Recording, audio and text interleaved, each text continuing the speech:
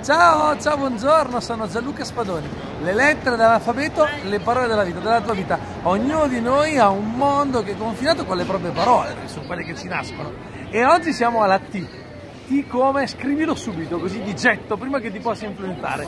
T per te, T per me è tempo tempo, c'è un tempo per tutto, c'è un tempo per seminare, c'è un tempo per raccogliere, c'è un tempo per piangere, c'è un tempo per eh, gioire, c'è un tempo per soffrire, c'è un tempo per vincere, c'è un tempo per imparare, eh, lo diceva Ecclesiaste, il tempo, la più grande risorsa che abbiamo, anche economicamente parlando, lo racconto spessissimo, negli ultimi anni sono stati stampati triliardi di dollari, ma il tempo non si può stampare, il tempo va e basta e non servono chissà quali studi di economia per comprendere che il tempo è più prezioso del denaro, perché eh, essendo una risorsa finita ovviamente ha un valore più alto. Il tempo è la consapevolezza del tempo.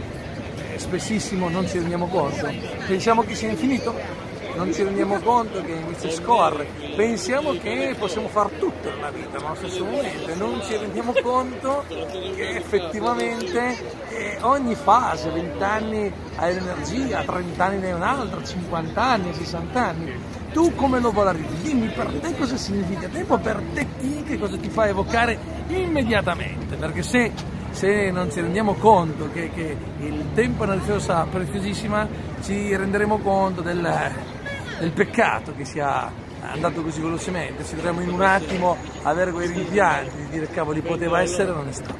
Scrivemelo qua, dai, dai che ce la facciamo!